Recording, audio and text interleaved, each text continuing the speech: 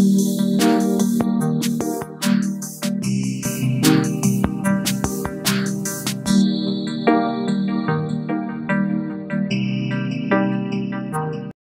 Well, good morning, ladies and gentlemen, and welcome to Grumman Pilots YouTube channel. And today we're going to look at some GAES, that's Grumman American Engineering Service reports done by the original factory on our airplanes. Basic structures, fuselage stress, a lot of fun stuff if you're interested in that. So stay tuned while we go through the reports for you.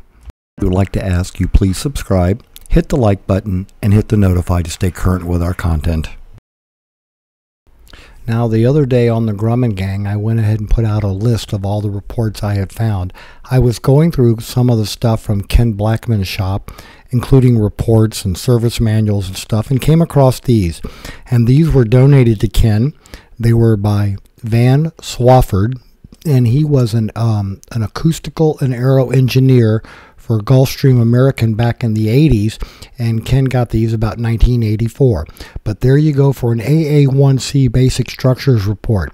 You can see from the thickness how much stuff that's actually in there.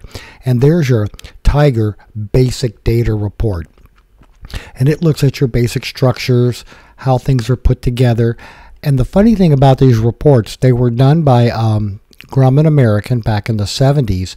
And as you can see right there from looking at the photocopied table of contents, it's all handwritten.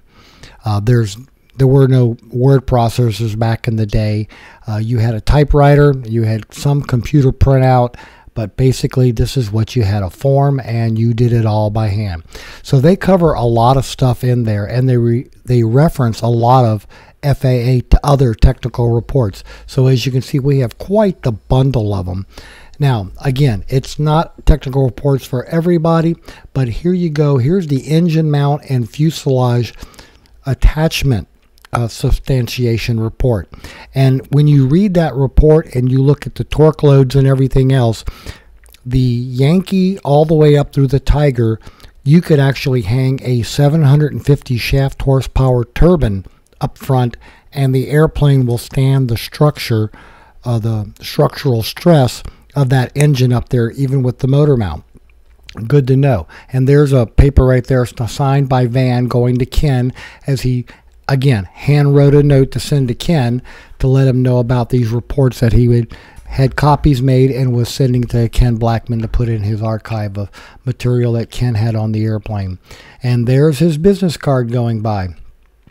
Everything's divided into sections. It's well organized. And again, if, you know, engine mount analysis. So this is where you can, 1974. So you could put a really big engine up front. Uh, I don't know if Fred Cocosta knew about these or not. But again, we have these, and our plan is to go ahead and take these reports, and we're going to scan them in as PDFs, and then um, if I can't scan them in because some of them have longer um, documentation, like a pullout for a schematic, I'm going to have to get those large format scanned somewhere and put together to get the whole manual in a one piece PDF. But, you know, there'll be some cost involved in that, but that information will be available for those who might want to read it. Um, if you're having trouble sleeping at night, ladies and gentlemen, you might want to take one of these reports and uh, try to read it. They can be quite interesting, I'm told.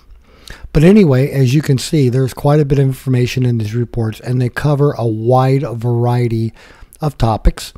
And it's good information to know, especially if you're thinking about any kind of modification to our aircraft. Now, I think I even put a table of contents on the Grumman Gang the other day as a show as a analyze stuff. What did you need? And then I also found copies in Ken's information on a um, Jimmy Collier STC. So we have all the information for one of those, as well as right here a manual that shows you everything you need to do to convert an early model Traveler to the later model Traveler nose, baffles, and baffle seals. It's everything you want to know. And in this manual that Ken had for the changing the traveler nose bowl and all of that, He even included a section on instructions for continued airworthiness that you need to have so that when you go to the FAA to try to get a modification or a signed off 337 to do this to your airplane, then you've got all the information you'll need that'll make them happy. So it speeds the process of getting it done for your aircraft.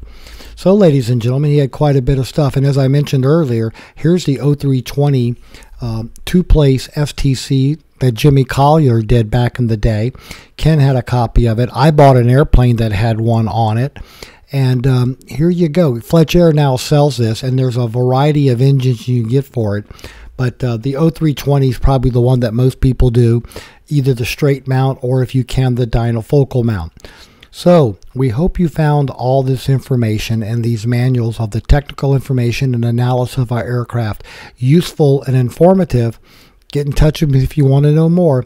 Thanks so much for watching and have a great day flying your Grumman.